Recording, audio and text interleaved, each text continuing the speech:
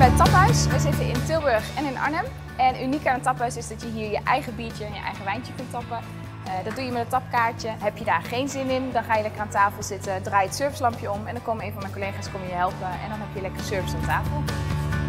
Toen we zijn begonnen is Bitfood bij ons langs geweest om te kijken van hey, hoe kunnen wij de samenwerking optimaliseren. Ze hebben echt heel erg met ons meegedacht in hoe wij uh, de producten op tijd geleverd kunnen krijgen. We zijn een vrij grote zaak. En wat ik daarin heel erg kan waarderen is dat uh, de accountmanager heeft gezegd ik kom langs. Ik ga met jullie kijken en die heeft bijvoorbeeld voorgesteld om altijd een standaard voorraad bij Bitfood op de plaats te hebben staan. Zodat we eigenlijk nooit misschrijven.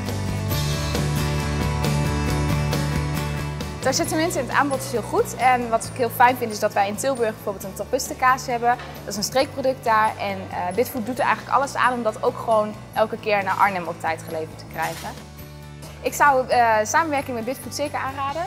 Uh, en daarin juist omdat ze zo ontzettend goed mee kunnen denken in, in het ontwikkelen van een, een verbeterde samenwerking.